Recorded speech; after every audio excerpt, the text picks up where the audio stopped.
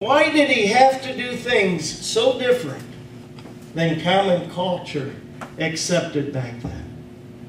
Why did God the Father, the maker and creator of all things, choose to come to this earth in the body of an infant, born of a virgin?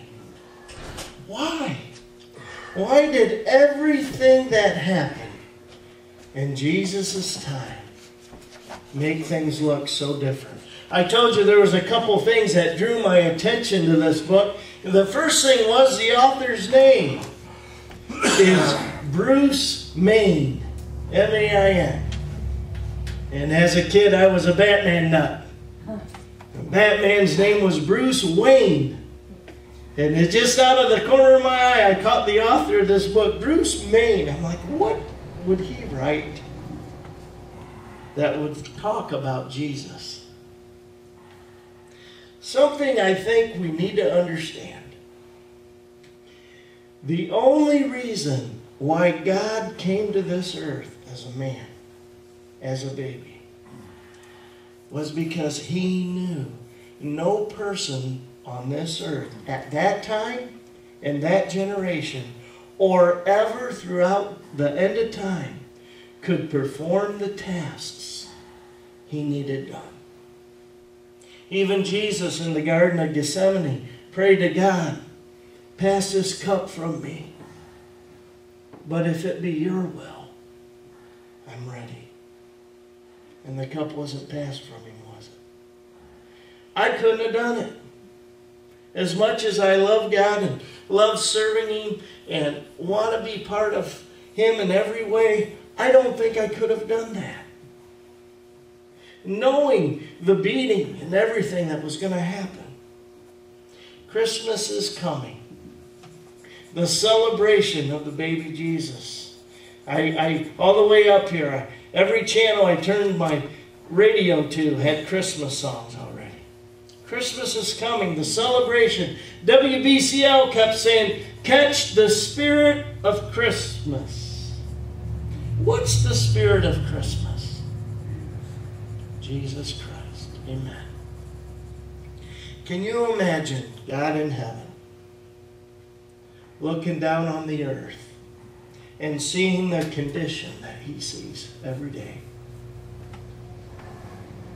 and taking the time to create himself flesh to be a savior to the entire world. I would picture God coming as Donald Trump. All the money in the world, buying all the TV time and commercials he possibly could to share his good news across to everybody. And I'm sure back then there were rulers and kings uh, that had all the possessions as much as Donald Trump did. But he didn't, did he? He came as a baby, born in an old lonely stable to a carpenter and his new wife. Who would picture God himself coming that way?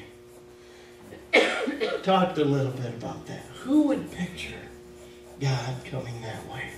You know, we as parents, aunts and uncles, grandmas and grandpas, I think we have all said at some time in our life to a niece, a nephew, a son, a daughter, I would trade places with you if I could. They might be sick. They might have just broke their arm. They might have been in a car accident. And when we love somebody that much, if it would be possible, we would trade places with them, wouldn't we? But yet, that's exactly what God did. He loved us so much. He created himself to be one of us, to come into this world, and to walk, and to live and to feel the pain we feel, and to feel the sufferings we feel and to feel the letdowns that we feel. The difference is Jesus suffered, bled, and died so we can have right standing with Him. God Himself became flesh, came to this earth, suffered, bled, and died to prepare a way for us to come to Him blameless, spotless, and clean in His sight. Wow. Wow. Tonight I want to look a little further here in our study. I want us to talk about the subjects of Jesus breaking the rules. We first need to understand at the core of Jewish religion was what many, many scholars referred to as the politics of holiness. Jesus' time when he was born, there was a number of Jewish leaders that judged people or graded people on what was called personal purity. Personal purity. What constituted personal purity was what you put in that offering plate in Jewish times. How many lambs you brought for sacrifice. What you did in the church. Automatically, you were considered holy and righteous. If you populated the plate, brought your offerings in timely fashions, and followed the law of man. Now, it didn't matter what was going on in here. It mattered what everybody was looking at, what everybody was seeing. You see, Jesus crossed the road for that kind of thinking. Growing up, my dad used to call it stinking thinking. Thinking that don't make sense. Jesus crossed the road. We learned that in Jesus' time, you really believed that, and you had a basis to believe in your checkbook. Whatever you had. The more you gave, the holier you were. Community status, political views. Sometimes I think our government's still that way. But Jesus crossed the road for them too. You see, when we take our eyes off Christ and we start making sense in our head of what's going on and what's being done, we get rather confused. We get rather like we don't really know what we think we know. We get it all figured out, and then it falls apart. I was almost sure Ohio State was going to give Michigan a run for their money yesterday. and up to two minutes to go in the game, we had it all figured out. And it didn't happen, did it? Stinking thinking. Quit thinking so much, guys. Trust God. This morning in Sunday school, we talked about worrying. And Kristen said, Dad, there's a Marine saying, you can sit in a rocking chair and worry. But all you do is think and go nowhere. Back and forth, back and forth back and forth. Why? Why take all that energy to worry? Why not trust God? We talked once about a right Ronco dehydrator. Remember? You set it and you forget it. That's how life is.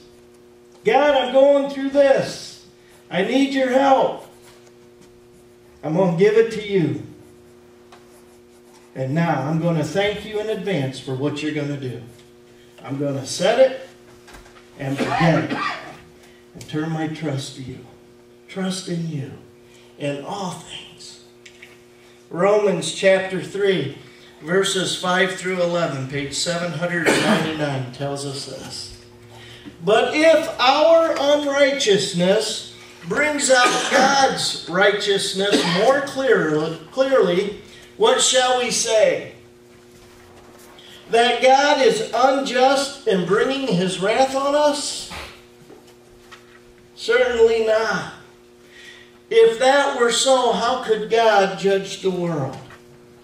Someone might argue if my falsehood enhances God's truthfulness and so increases his glory, why am I still condemned as a sinner? Why not say, as we are being slanderously reported as saying, and as some claim that we say, let us do evil, that good may result. Their condemnation is deserved. What shall we conclude then? Are we any better? Not at all. We have already made the charge that the Jews and Gentiles alike are all under sin. As it is written, there is none righteous, not even one. There is no one who understands, no one who seeks God. Let's pray. Father God, we thank you for your word, Lord.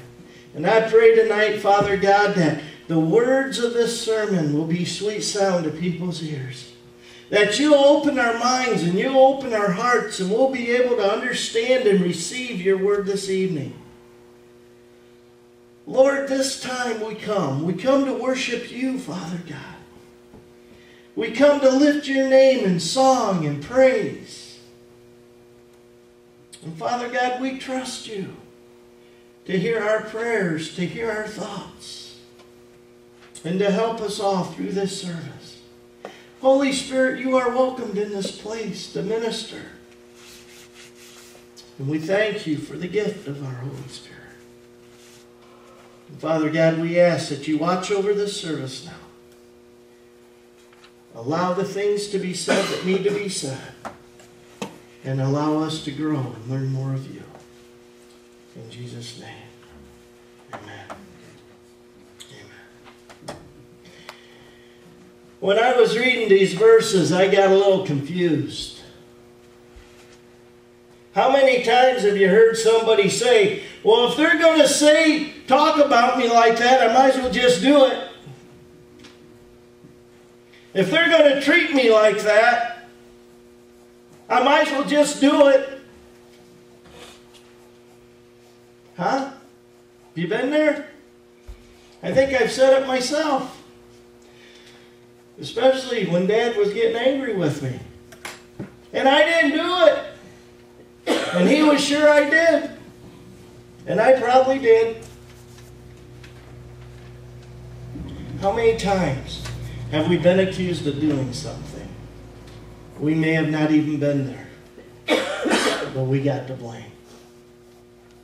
Does that mean God's grace is stronger? No.